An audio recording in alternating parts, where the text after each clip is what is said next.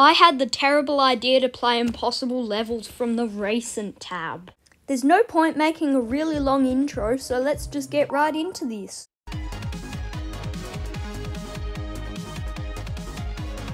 Seriously?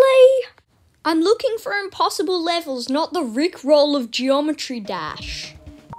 Let's just get on with this. Nope. Oh no.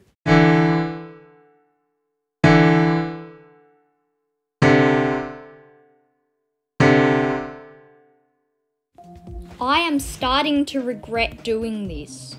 But I have to because of the content. Everybody needs the content.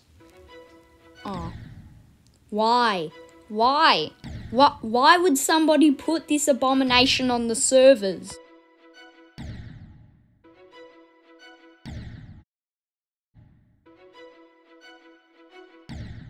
I honestly shouldn't be surprised by now.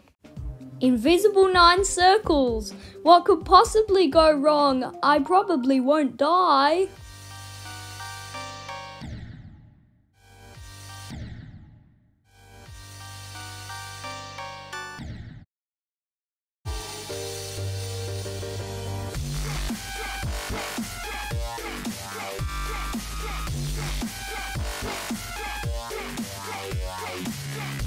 Damn it! Wait a minute. Why is it loading so slowly?